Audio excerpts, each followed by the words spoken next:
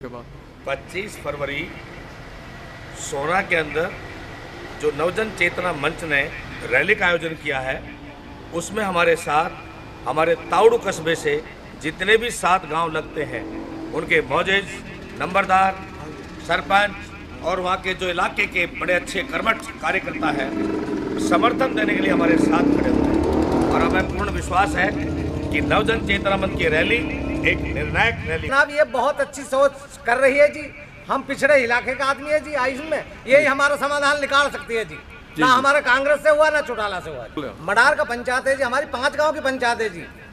हम इसका समर्थन करते हैं जी जी जान से टाउडू हल्के से आए हैं। जी जी। गाँव कांगर का जिसकी पंचायत भंडार का है पाँच गाँव की। जी जी। और हमने जब वशिष्ठ साहब के विचार सुने जी जी। तो हमें जो है जनमन योजना से जो है हम्म, पूर्ण विश्वास है कि हमारी पूरी मनोकामना पूरी करेंगी और हमारा साथ देंगी।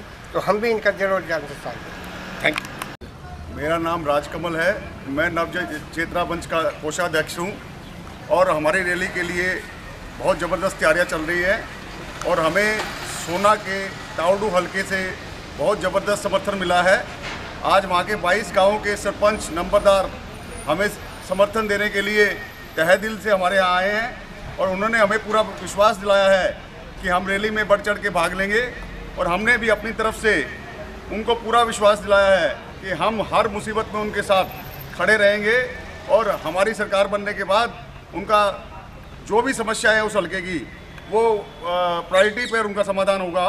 किसी के साथ भी कोई भी जाति नहीं की जाएगी और पुलिस से की जो जाति है उसका पुरजोर विरोध करेंगे और आने वाले समय के अंदर उनको एक सफल, स्वच्छ, ईमानदार सरकार देंगे और हमारा पूरा का पूरा जो मिशन है, वो मेवात में जो गरीबी है, उसको हटाकर एक स्वच्छ सरकार देने का है।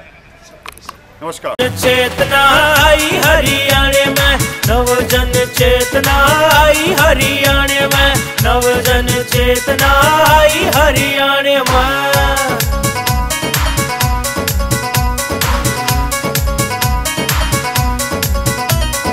घर घर में बेटी सुरक्षित रहेगी, तरक्की पे हरियाणा दुनिया कहेगी। घर घर में बेटी सुरक्षित रहेगी, तरक्की पे हरियाणा दुनिया कहेगी, बचेगी न